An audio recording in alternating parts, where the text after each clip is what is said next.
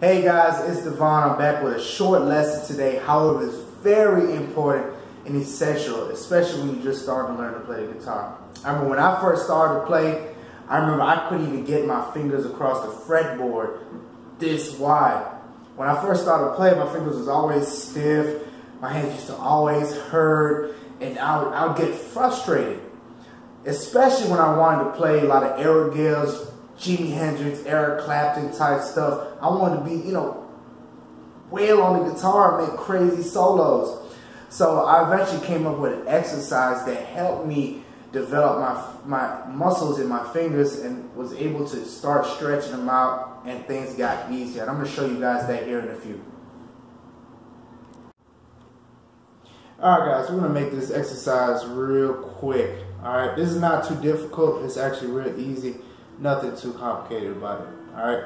So what I'll do is just climb up this neck, but I'll only stay in this area right here. Only stay in this area, transition up, and then come back down. I kind of kind of do that with this exercise. I'm gonna go ahead and show it to you right now.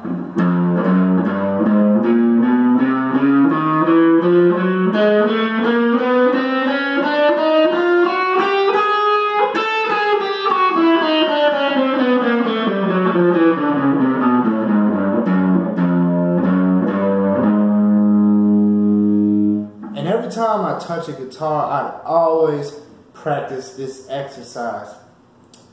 And if you constantly do this in this area of the neck, this will stretch out your fingers the most. If you try to climb up the ladder around here and do this exercise, it's killing the whole purpose and the whole point.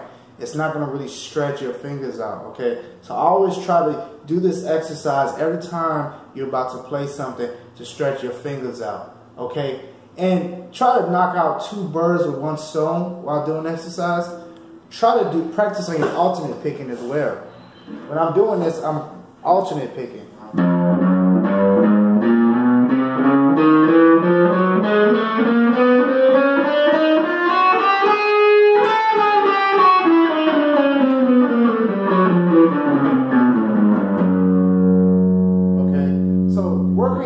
Picking and your finger exercise and do this every day before you try to start on something, you know, and this will just kind of stretch your fingers out and help you out.